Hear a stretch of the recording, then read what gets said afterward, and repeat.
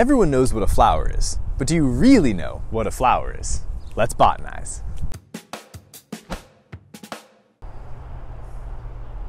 A flower is a bisporangiate strobilus. Let's break down what that means. Before we dive in, we need to know what the components of a flower are. A flower is composed of whorls of heavily modified leaves. This may sound surprising, but this is actually corroborated by the work of developmental biologists.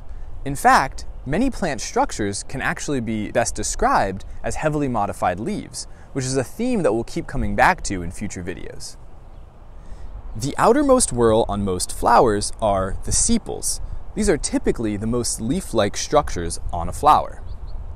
Inner to the sepals are typically the petals, and in most lineages, these are the showy and colorful structures that we are familiar with. The last two whorls are the reproductive structures, and defining what they are will help us understand what I meant when I said that a flower is a bisporangiate strobilus. First, we have the stamens, which are the male reproductive parts that produce the pollen. Pollen is produced in a structure called the sporangium, which is housed in the anther, this is typically the yellow structure at the tip of the filament. Finally, we have the pistil, which includes the stigma, which receives the pollen, and the carpel, which houses the ovules.